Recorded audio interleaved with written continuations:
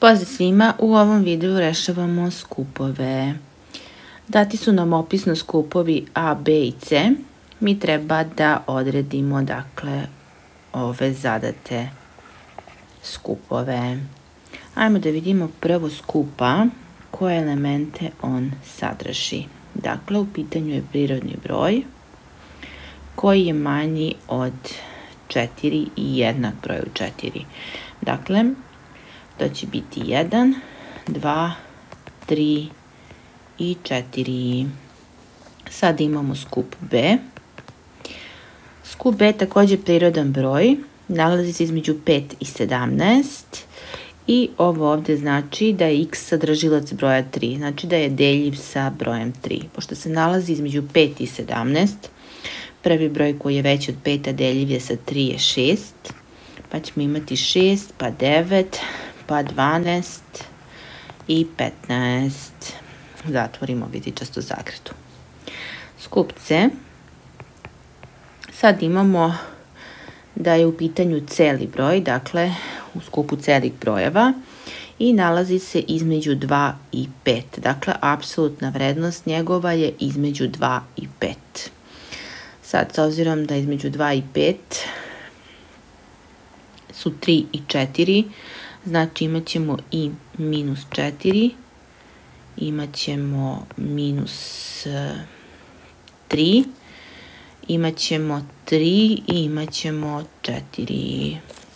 Dakle, s obzirom da se nalazi između 2 i 5, to su samo brojevi 3 i 4, a njihove ovaj, suprotni brojevi su minus 4 i minus 3. S obzirom da imamo apsolutne zagrade, onda i negativne vrednosti ulaze. I sad treba da odredimo pod 1 C unija B pa različito od A. C unija B to su svi elementi iz skupa C iz skupa A. Dakle imat ćemo minus 4, minus 3, 3, 4, 6, 9, 12 i 15 pa sve to različito od skupa A, možemo i da ga nabrojimo, dakle to su brojevi 1, 2, 3 i 4. Pa po čemu se razlikuje? Po ovim negativnim brojevima sigurno, minus 4, minus 3. 3 i 4 sadrži i skup A, tako da to ne, ali imamo 6, 9, 12 i 15. I to bi bilo naše konačno rješenje.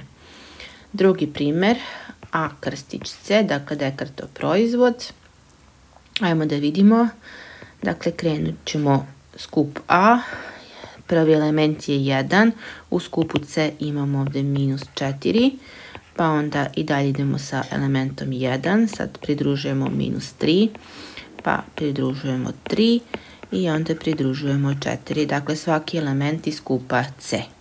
Sad se prebacujemo na 2, pa pridružujemo prvo minus 4, pa pridružujemo minus 3, pa pridružujemo 3 i pridružujemo 4.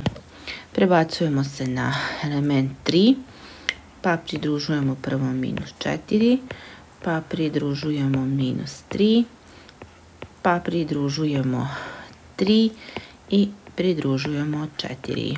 I na kraju imamo element 4, isto mu pridružujemo sva ova četiri elementa iz kupa C, dakle minus 3, 3 i 4, 4 na kraju. I ovim smo rješili ovaj drugi i idemo na treći, dakle patativni skup, C različito da. Dakle, treba da odredimo sve podskupove ovog skupa. Ajmo prvo da vidimo C različito da koji je to skup, koji su to elementi.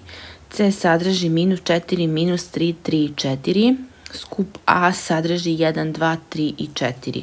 Znači razlikuje se po minus 4 i minus 3.